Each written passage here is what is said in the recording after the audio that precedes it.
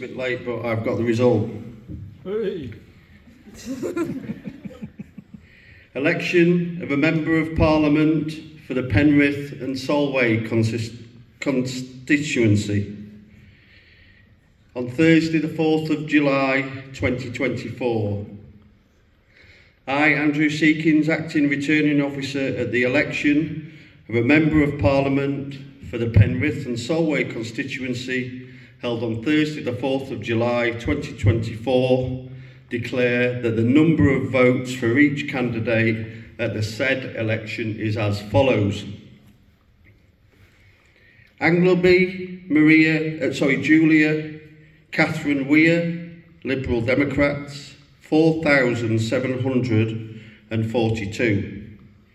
Campbell Savers, Markus Dale, Labour Party, 19,986.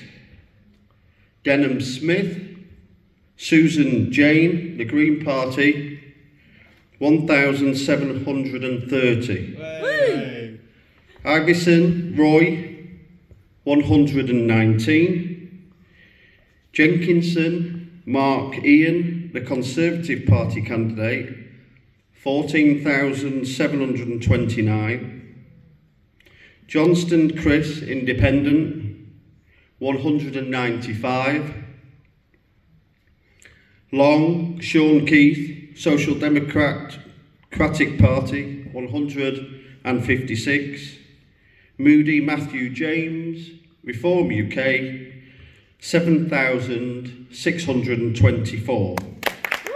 Hooray.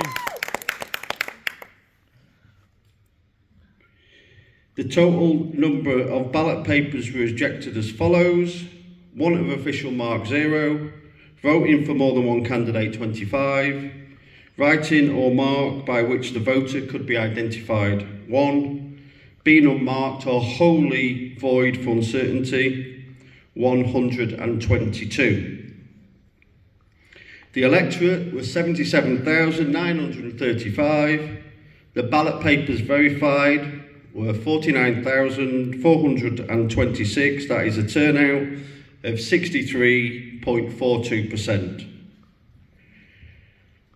So I do therefore declare that Markus Campbell Savers, Markus Dale Campbell-Savours, is duly elected as the Member of Parliament for the Solway, Penrith and Solway constituency.